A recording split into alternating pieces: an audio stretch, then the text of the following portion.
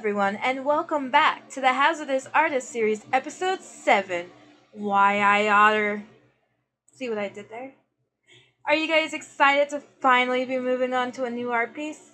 Not that the last six episodes weren't great, but I'm a girl who likes change. So I'm really happy that we are on a f- new piece of artwork. I lost my train of thought there for a second. if you guys are interested in the art process of the coloring, the highlighting, and the shadow, be sure to head on over to the first Hazardous Artist episode 1 for all your artist needs. Artist viewer discretion is advised as it gets a little sketchy. So, today I have a special treat for you guys.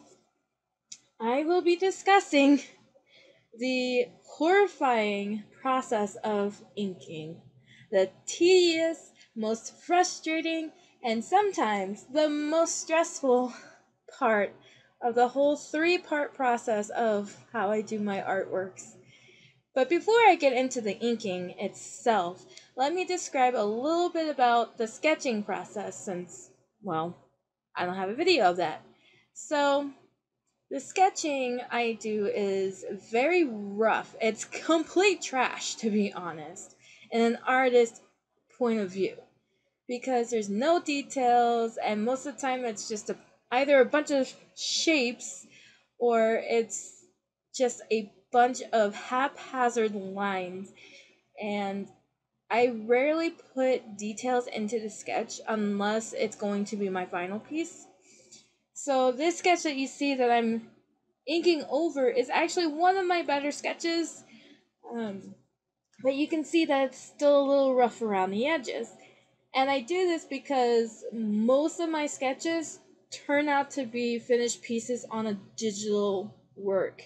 So if I know I don't need if I know that I'm going to finish it on a digital aspect, I'm not going to finish a sketch with all the details because normally how my brain works, I will do all the detailing in the inking process. And that's actually not the most frustrating thing about the inking. The most frustrating thing about inking is the fact that I have a shaky hand. And the program that I use is pretty good when it comes to that. You have a stabilizer tool in your tool options, which I think all of the art programs out there do have something similar to help with people who do have shaky hands. And that's why I really love digital because then I don't have to worry too much about my squiggly lines and how they're not connecting correctly and how they don't look smooth or whatever. Because if I don't have it, my lines will look so squiggly. And but another reason why inking is so tedious for me is because if I don't get a line right the first time, then I have to redo it. And this can take anywhere from 1 to 15 times depending on how bad this line is and how much I'm trying to get it right. But there's so many things I hate about inking, but the great thing about inking in general for me, for my particular art style, is that it adds depth to my artwork. And it was a learned process, not for the technique of inking so much as trying to find the right style of line art that comes with inking that I wanted to do for my particular style.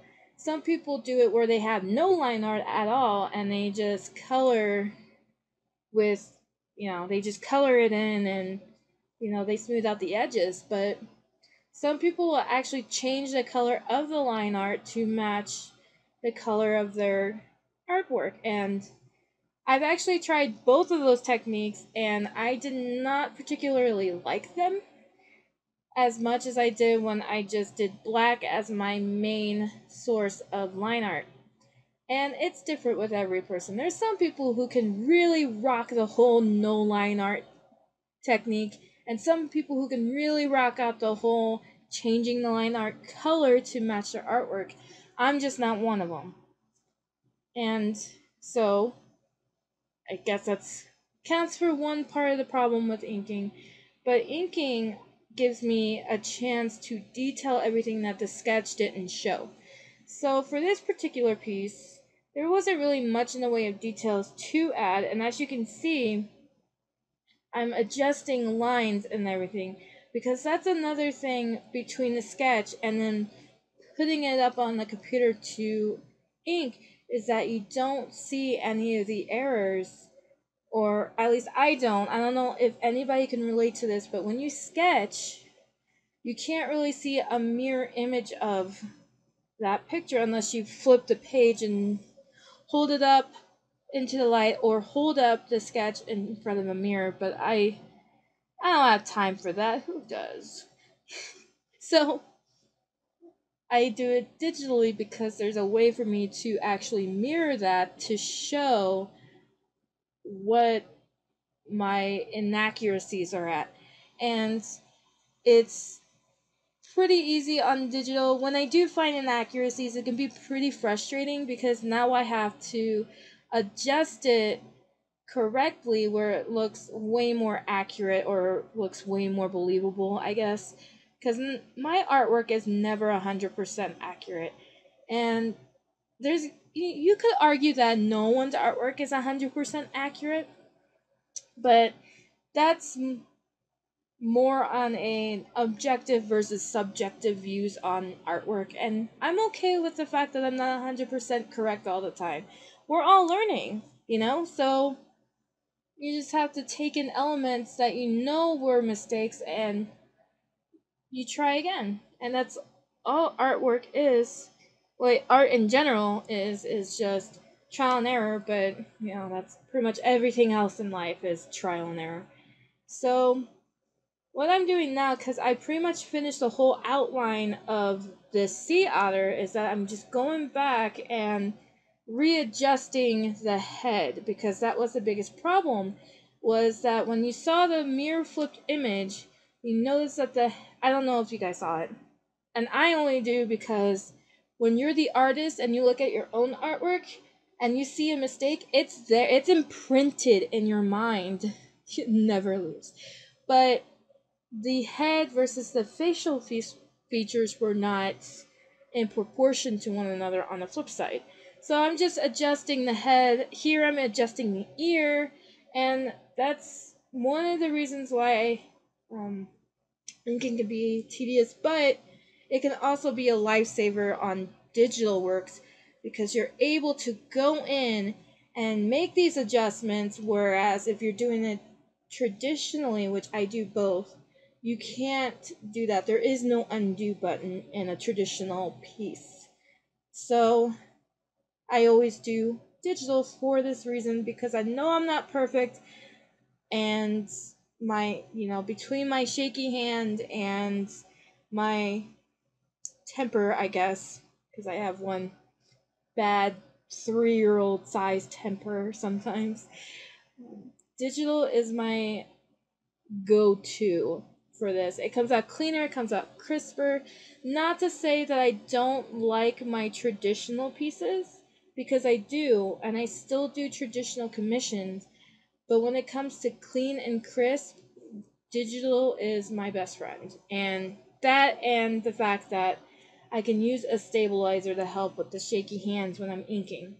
So, and that looks like it's really the end of that. I'm just adjusting the position of the actual otter itself. But yeah, that was the end of this video. I know it was a little short, you guys, and I apologize. But inking, depending on the piece itself, inking really doesn't take me that long. I think without, you know, speeding it up to, God, awful speeds. Um, even without speeding it up, it was about 20 minutes. So, if you guys like this video, then join me next week because next week I'll dive into the coloring and I can actually tell you stories, real life stories of wild sea otters that I have seen in my life. There's a couple of good ones I have. So, with that, you guys, like this video comment below and share with everyone you know. And I will see you next week. But until then, dare to create. The pun of this episode is utterly terrible. Just utterly terrible.